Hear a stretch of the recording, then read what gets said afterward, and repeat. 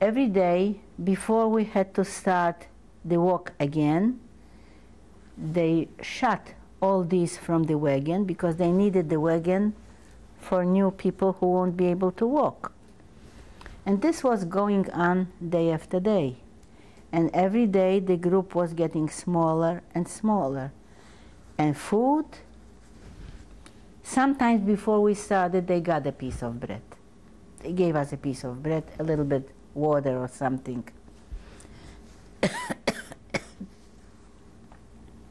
this was going on and on.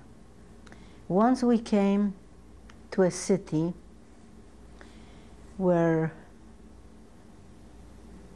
it was like 11 o'clock in the morning. It was a very busy city. I don't remember the name of it.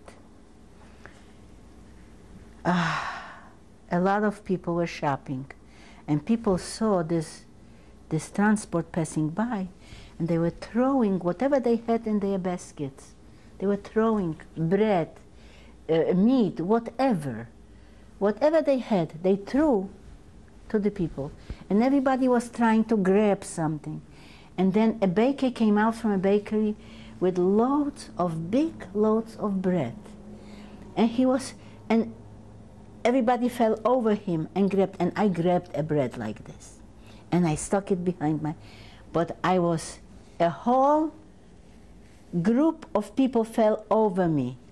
And they tore the bread apart from me. And I was screaming, leave me a piece for Minka. Minka was a philosophy student in uh, the Krakow University, was a friend of mine.